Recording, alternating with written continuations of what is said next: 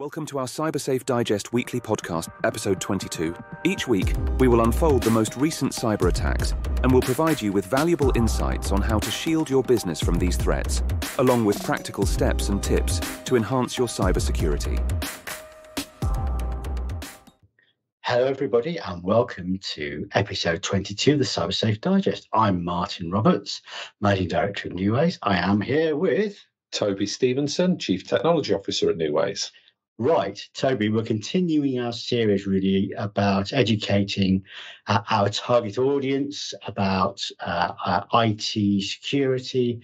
Um, typically, this this podcast is aimed at uh, CFOs, CEOs, people that are responsible for IT but don't necessarily execute IT. We've been going through some of the basics uh, so far. Um, it's good to be able to go to a cocktail party and when somebody asks you what you do and you say you're responsible for IT, you can talk about it with some authority. A very useful skill, yeah. Very useful skill indeed. And and so this week we're going to talk about endpoint security. Okay. And I'd and I'd like to really um, help people understand what the difference between endpoint security and all the other types of security that should be deployed in a an organization. Sure. Okay. So, endpoint security, as the name kind of alludes to, is the security that resides on an endpoint system. So, be that a laptop, a desktop, um, arguably even servers, um, maybe even mobile phones. It's discreetly different from network security, which would be something that sits on the network and protects the network as yeah. opposed to the endpoint. So, if we think about the PC and its Windows environment and all the applications. The endpoint security is responsible for protecting that little silo of, of activity. Sure. Network security is is things that run across the network. So that might include network scanning. Um, firewalls are often included in there because they're a network level activity, okay. because their stuff's coming in and going out of them, and there's an opportunity to um, perform security scanning on there. Um, email security, which we have all heard about, you know, that helps protect us against phishing and. Um, email borne malware. Web security, kind of two flavors to that, really. The first is the technology that protects you when you're browsing the internet, so protects you from malicious websites and, and things like that. The other aspect of web security is how you protect web-based resources, so web servers, database servers, how they're protected, and there's a, a, a separate kind of niche area of, of protection there, which isn't really that common in small to medium-sized businesses, but the others all are.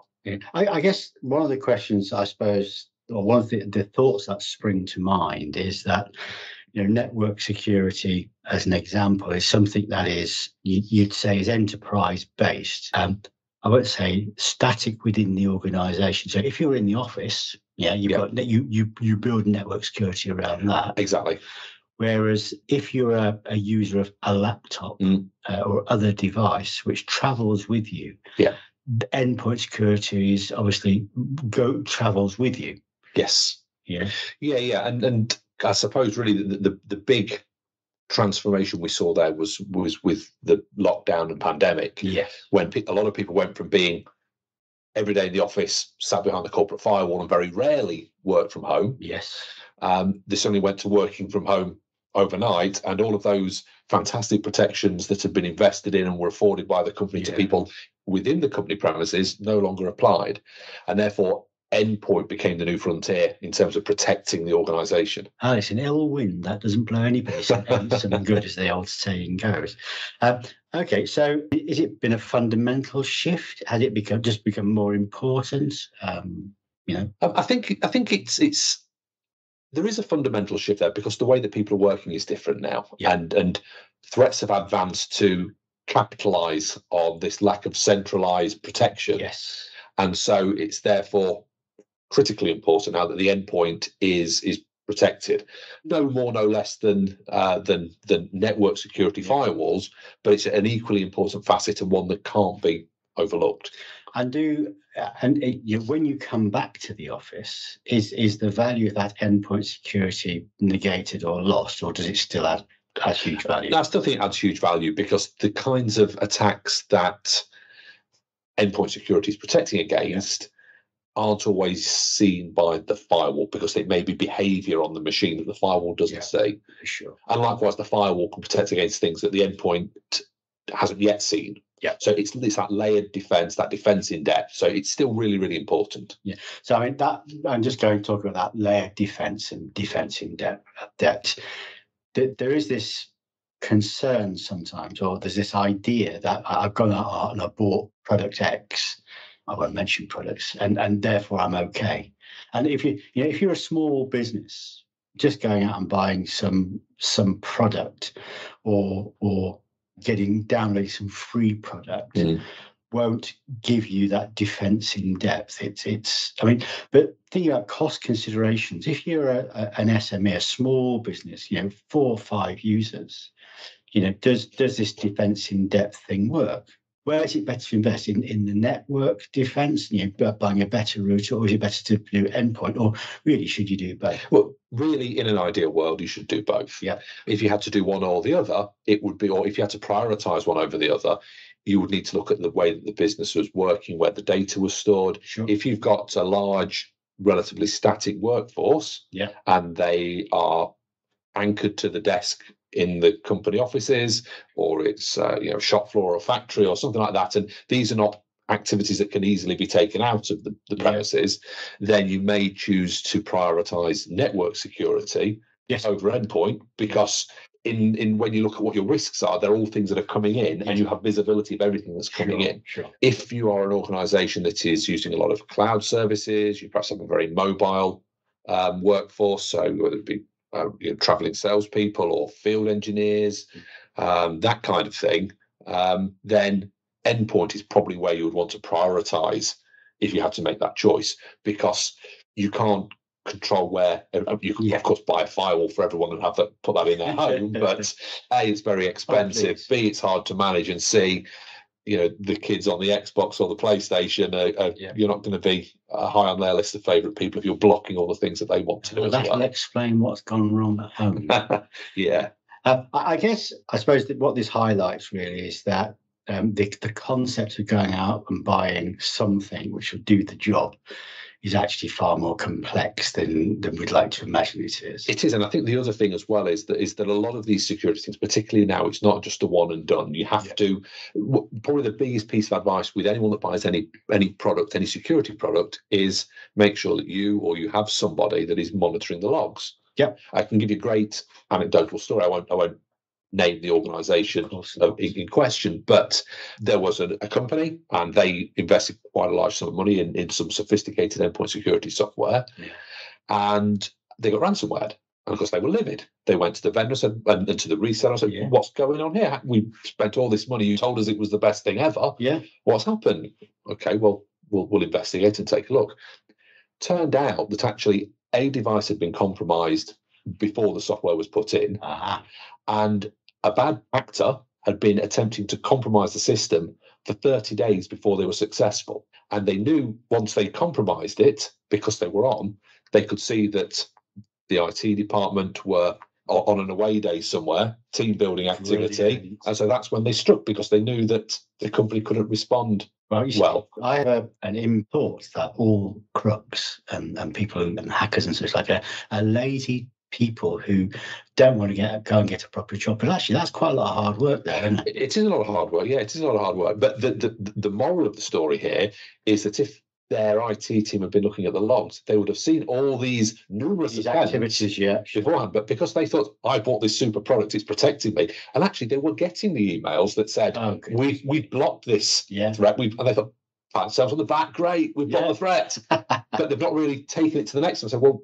But what does that mean? How did that get in? What's happening? And then if they'd have done that, they could have followed the breadcrumbs to find out that actually there was a, a compromise on it on an account somewhere and, Yeah. and a bad guy was in. I suppose that that displays that the expertise in the product and what it's telling you and understanding that is is really well.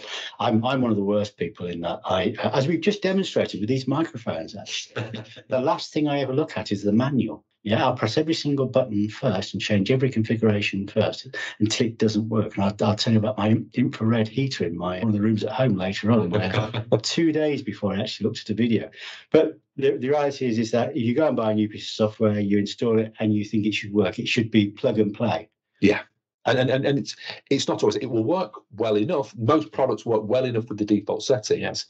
And that's great. But the important thing is, is to keep an eye on it. To look look at the logs, even if you're running the, the most expensive or even the cheapest. Look at the Yeah. logs. So when Yeah. you get an alert, Yeah.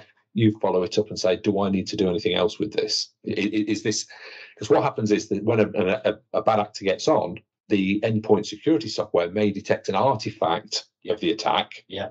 So that thing that you see may not be the only activity that's going on. It's just what's been detected and flagged. And when you then go to look at the logs, you can see there's a chain of other events that perhaps suggests Yeah. um, more actions required. The one thing that always comes out here is about the cost. And the problem is with all these things, it's a little bit like insurance. It's absolutely like insurance. Yeah. So basically, you buy these things, you put them in place, and and if they're really good, you never have a problem. It's only when you have a problem do they pay for themselves. Mm. Though actually, in reality, folks, they're paying for themselves all the time if they're just working. Well, I mean, uh, it's not endpoint security; it's email security, which we touched on earlier. But um, I once had a conversation with somebody that says, "Why do I need this particular product?" Yeah. because we never get any spam. Yes, Yes. that's because the product is doing its job. So it, it, it can almost be self-defeating the, the, the effectiveness of a product because you don't see big problems. Yeah. You assume that you don't have them, but actually, it might No, product is just doing a really good job. you know, we're, we're an MSP, and, and occasionally we get customers turn around to us and say, "Well, what am I paying for? I never have any problems, so Mm. you know, what, why am I giving you all this money?" Exactly. Yeah. And it's because you're not having any problems. Uh, Yeah. We're actually doing a lot of stuff in the background. Okay, is it is it? Well, it's a choice to have endpoint security, but any security. I mean, is a is it an obligation to? No, there isn't. No, I mean you'll probably have a very hard time getting any kind of insurance Sure. if you don't have endpoint security installed. In fact, most insurance companies now are alluding to the fact that you need endpoint uh, detection and response, or EDR, which was Yeah. in the previous podcast. That's almost becoming a, a, a de facto standard now if you want to get insurance. Yeah, but of course, there's that there's that problem, and again, it's about looking. We, we mentioned this in a previous podcast, and, and also we talked about uh, EDR in episode twenty and MDR in twenty one. Is this this idea that you need to also look at your insurance? Don't just don't just tick a box on the insurance. Um, uh, as, a, as an addendum to your normal insurance, don't just accept what you're being told. Look at it in detail because uh, it, they'll take your money. Mm. Um, but if in the event that you've not complied by getting endpoint um, uh, security or whatever is, is defined there, then they won't pay out. Absolutely, yeah, and and there may be exclusions depending on what solutions you are or are not running. Yes. So yeah, they may pay out for some things, but not for others. And and by the way, just just so uh, people understand, they wouldn't pay out because it's quite a reasonable thing to do because you've not read the terms and conditions and not complied with what's required to fulfil the requirements of the insurance. Yeah, well, I mean, if you if you've got a, a a burglar alarm Yeah. on your house and you declare that on your insurance, and you don't turn it on, and you leave the front door unlocked. Yeah. You know, you're going to have an awkward conversation with them when you want to claim for for contents that have been stolen.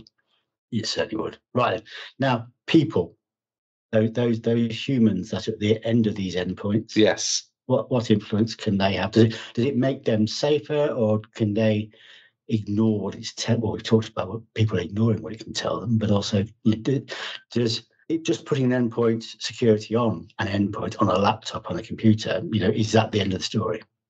Uh, it's not no. I mean, it, it can certainly help immensely. Yeah. Um, but it's part of a, a suite of, of actions that you take this defense in depth. Know, Yeah. We want to make sure that there is something on the system that can identify malicious code, Yeah. ideally that can identify malicious or suspect behavior and, Yeah. and, and create alerts and take action around that. But we also want to limit let's call it the blast radius as well. So we want to take away as many rights from the, uh, Yeah. the user of the machine as possible. So we've touched on that before. Yes. Don't be a, an administrator on your daily account because if something happens to you, the reach is much greater. Yes. Think about what you're clicking on and where you're going. You know, we touched on the, the importance of email training. uh, So, so understanding and what to look out for when uh, an email comes in that's got that that uh, critical call to action on it. Sure. You know, it, it's out of the blue. It's it's unusual. It's unexpected. Maybe there's spelling mistakes. Although with AI, the quality Oh, of the content is getting better now. So it's it's it's the things that the, the call to action is really the big thing to look for there.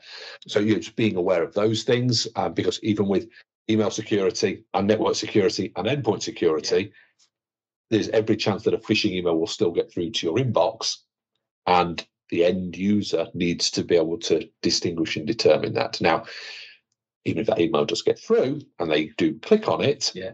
there is still the opportunity for the endpoint software Yeah. to protect them, the network security to protect them, and any web security to protect them. So the the protection comes in and goes out as well, but ultimately the attackers are trying to trick the fleshy body that's Yeah. on the end of the keyboard into doing something that gives them then an advantage. So yeah, making sure that people are suspicious, they understand what they're looking for, and how they should behave. So we, Yes. we, we've we've spoke before about the importance of policies. Yes. You know, if you don't give people an instruction manual of how to work within the company, how do they know what good looks like? You know, how, how do they know what is acceptable behaviour? Yeah, and, we'll talk in a future episode about shadow IT Yeah. and, and those people who are really capable um, but dangerous. Mm. But that's it, Rob. Okay, so we talked about success. What is success for an endpoint? I guess it not being compromised and identifying um, things before they happen.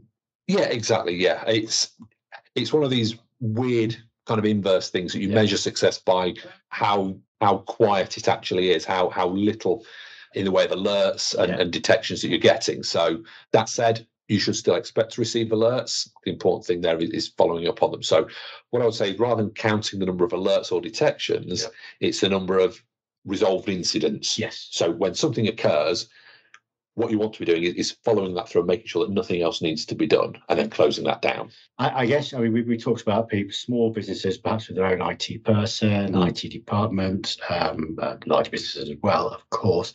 Um, and then you know if you're using an MSP, somebody to do your IT for you is is, is asking the question of them, you know, what what what I got in place. They're charging you for it potentially, and if they're not, uh, ask the question, what's in what's in place for my endpoint security.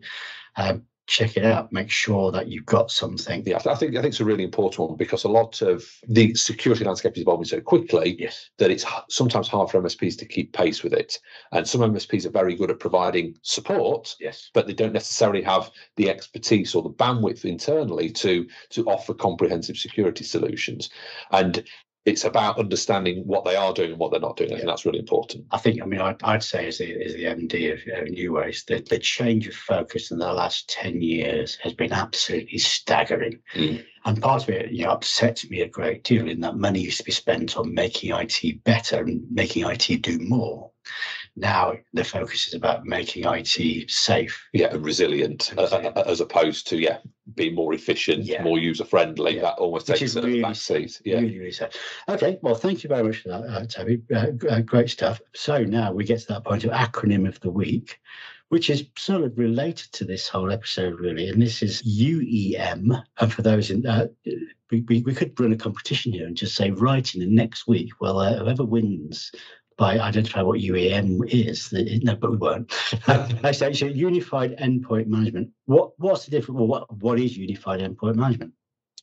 Um, so it's it's a tool that a lot of MSPs will end up using. It's it's historically been called um, remote monitoring and management, an RMM tool. Right. So it's a piece of software that allows the IT department, more common in large IT departments, but also with with managed service providers to look after the estate of the Yeah. uh, of, the, of the customer or of the the internal resources. It's essentially a piece of software that sits on every endpoint Yeah. and it's capturing data around what the machine is doing. So disk space, memory, CPU, applications are installed, things like that. Um, and it gives you the ability to run um, commands against it so you can manage the environment. So Mm. it's it's a it's a management tool that allows you to, to manage at scale. So rather than having to install a piece of software manually on 50 computers, Yeah. you can push a command that says push this piece of software out to all 50 machines, for example. Okay, so if you're that CEO, CFO, the people we like to talk to, really, it's it's to ask your your provider, your your internal people, Yeah. whatever, you know, what what a unified endpoint management are we using? Are we using it at all?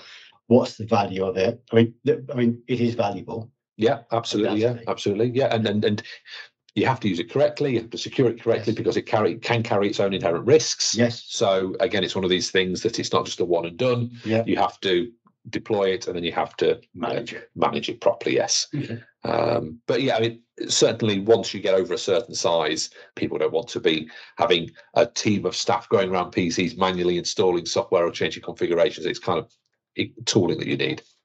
Brilliant. Well, thank you very much, Toby. Um, great insights as as per usual.